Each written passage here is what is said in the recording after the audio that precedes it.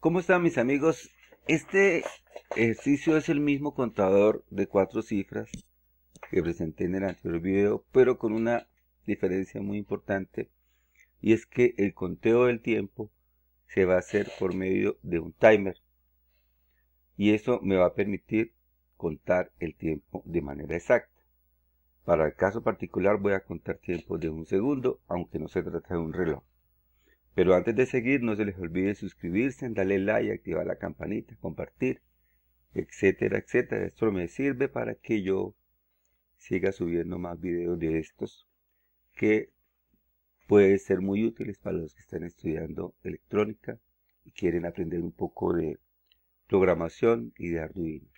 Bien, ¿cuál es la diferencia? Vamos a hacer la simulación y vamos a notar que el incremento ahora es más lento. En este caso se está haciendo cada segundo. Eh, puede notarse de pronto que no está el segundo ahí visualizándose de manera correcta porque depende de la velocidad de la red de internet. Si su velocidad es demasiado lenta, va a ir demasiado lento. Y aquí tenemos una comprobación porque aquí tenemos el contador exacto de la simulación y podemos notar que va igual. ¿Sí? Está igual. Él, está contando el tiempo de simulación, pero depende de la velocidad del internet. Puede ir esto más lento o inclusive puede ir eh, exacto con el segundo. En este caso no, aquí notamos que el segundo está como muy lento pero no tiene nada que ver con, con la programación, es por la simulación. Bien, vamos a explicar los cambios que le hicimos al software. Entonces, veamos el código y voy a explicar. En el parte, la parte del setup he puesto estos, estas líneas de programación que es la configuración del timer. Eh, es un poco engorroso poderme explicar exactamente la función de cada bit, pero sí voy a explicar cómo dice o cómo se hace el, el conteo exacto del tiempo.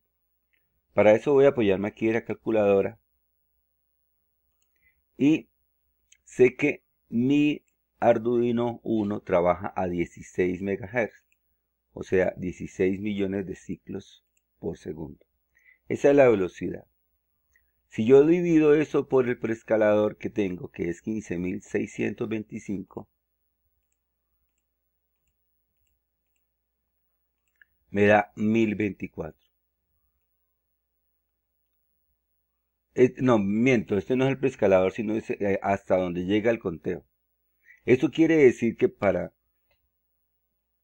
para que el timer llegue exactamente a un segundo, debo poner el, preescalador en 1024, que es lo que estamos haciendo aquí. Mira, aquí cuando configuro estos bits de acá, estos tres bits, configuro el preescalador y está configurado a 1024.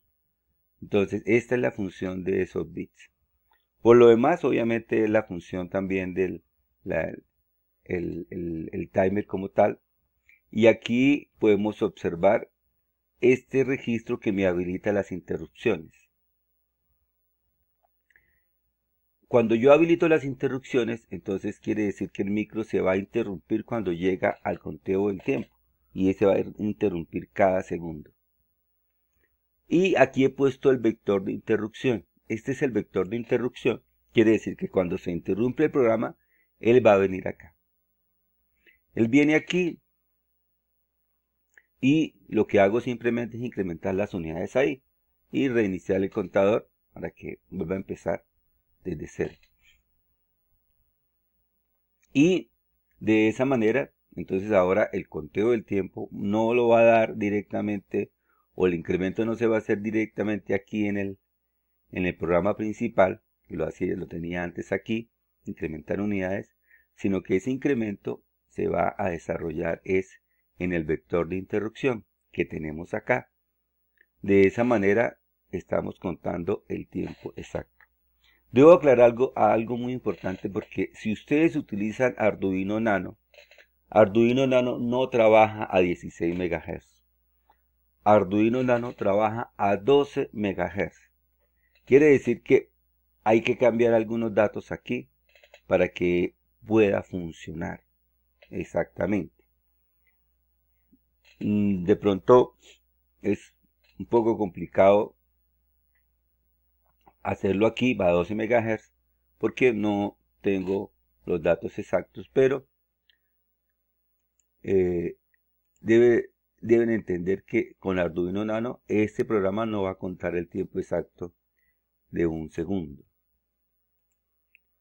Ahí lo tenemos, el contador eh, de cuatro cifras, pero la diferencia es que está contando el tiempo exacto, o sea, se está incrementando cada segundo con base obviamente al uso de la interrupción, al uso del timer y que he configurado el timer para que él se active exactamente cada segundo.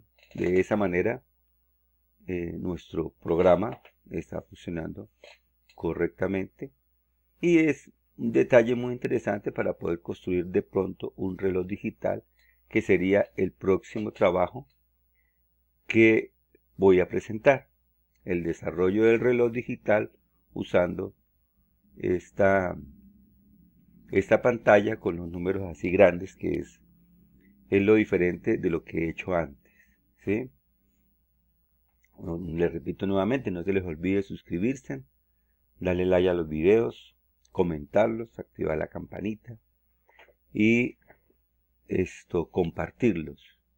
Es importante obviamente para que yo siga haciendo estos tipos de, de explicaciones y que pueden ser útiles para muchos que están estudiando esto. me trae muchos recuerdos de mi época cuando yo trabajaba como docente en las unidades tecnológicas porque vivía trabajando constantemente estos programas. Obviamente el, el nivel en la universidad es superior, pero puede servir también para cuestiones de colegios y, y no, ¿por qué no? Las universidades también. Espero que les guste y que podamos seguir haciendo esto. Hasta luego.